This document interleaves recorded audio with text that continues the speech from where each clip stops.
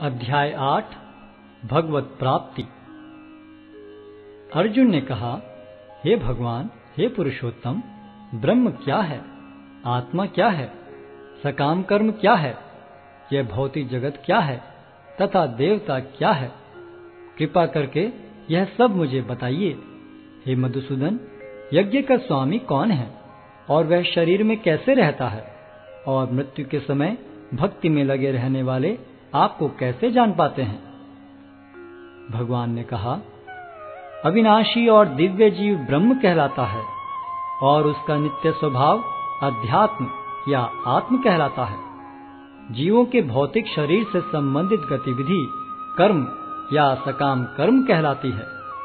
हे देहधारियों में श्रेष्ठ, निरंतर परिवर्तनशील यह भौतिक प्रकृति अधिभूत कहलाती है। भगवान का विराट रूप जिसमें सूर्य तथा चंद्र जैसे समस्त देवता सम्मिलित हैं, अधिदैव कहलाता है। तथा प्रत्येक देहधारी के हृदय में परमात्मा स्वरूप स्थित मैं परमेश्वर अधियज्ञ कहलाता हूँ।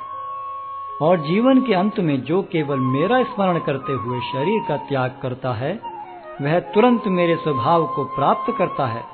इसमें रंच मात्र भी संदेह नहीं है।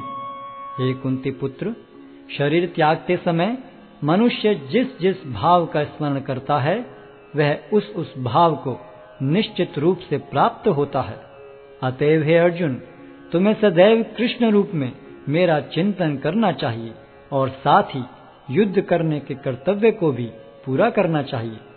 अपने कर्मों को मुझे समर्पित करके तथा अपने मन एवं बुद्धि को मुझमें स्थिर करके तुम निश्चित रूप से मुझे प्राप्त कर सकोगे। हे पार्थ जो व्यक्ति मेरा स्मरण करने में अपना मन निरंतर लगाए रखकर अविचलित भाव से भगवान के रूप में मेरा ध्यान करता है, वह मुझको अवश्य ही प्राप्त होता है। मनुष्य को चाहिए कि परम पुरुष का ध्यान सर्वज्ञ, पुरातन, नियंता, लघुतम से भी लघुतर, प्रत्येक का पालन करता, समस्त भौतिक बुद्धि से परे, अचिंत्य तथा नित्य पुरुष के रूप में करे। वे सूर्य की भांति तेजवान हैं और इस भौतिक प्रकृति से परे दिव्य रूप हैं।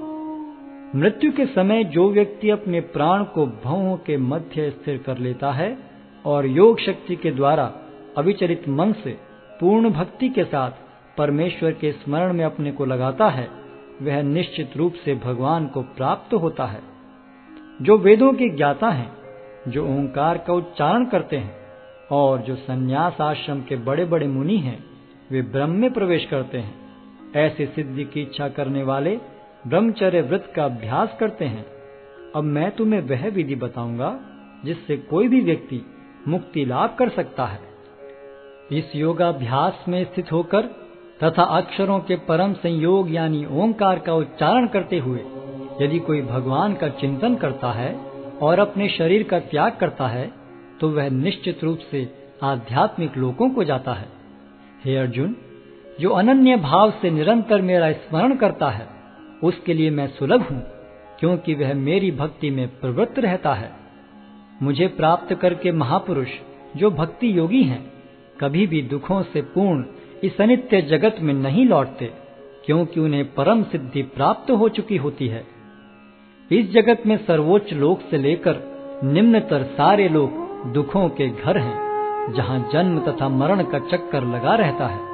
किंतु हे कुंती पुत्र, जो मेरे धाम को प्राप्त कर लेता है, वह फिर कभी जन्म नहीं लेता।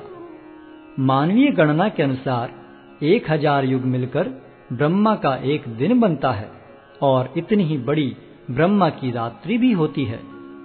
ब्रह्मा के दिन के शुभारंभ में सारे जीव अव्यक्त अवस्था से व्यक्त होते हैं, और फिर जब रात्रि आती है तो वे पुनः अव्यक्त में विलीन हो जाते हैं। जब जब ब्रह्मा का दिन आता है तो सारे जीव प्रकट होते हैं और ब्रह्म की रात्रि होते ही असहायवत विलीन हो जाते हैं। इसके अतिरिक्त एक अन्य अव्यक्त प्रकृति है, जो शाश्वत है और इस व्यक्त तथा अव्यक्त पदार्थ से परे है। यह परा और कभी नाश न होने वाली है। जब इस संसार का सब कुछ लय हो जाता है, तब भी उसका नाश नहीं होता।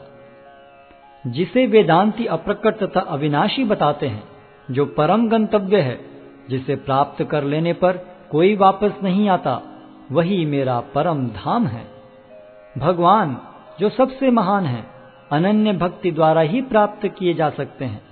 यद्यपि वे अपने धाम में विराजमान रहते हैं तो भी वे सर्वव्यापी हैं, और उनमें सब कुछ स्थित है। हे भरत श्रेष्ठ अब मैं तुम्हें उन विभिन्न कालों को बताऊँगा जिनमें इस संसार से प्रयाण करने के बाद योगी पुनः आता है अथवा नहीं आता। जो पर ब्रह्म के ज्ञाता हैं, वे अग्निदेव के प्रभाव में, प्रकाश में, दिन के शुभक्षण में, शुक्ल पक्ष में, या जब सूर्य उत्तरायण में रहता है, उन छह मासों में इस संसार से शरीर त्याग करने पर उस पर ब्रह्म को प्राप्त करते हैं। जो योगी धुएँ, रात्रि, कृष्ण पक्ष में या सूर्य के दक्षिणायन रहने के छह महीनों में दिवंगत होता है, वह चंद्रलोक को जाता है, किंतु वहाँ से पुनः चला आता है। वैदिक मतानुसार, इस संसार से प्रयाण करने के दो मार्ग हैं, एक प्रकाश का तथा दूसरा अंधकार का।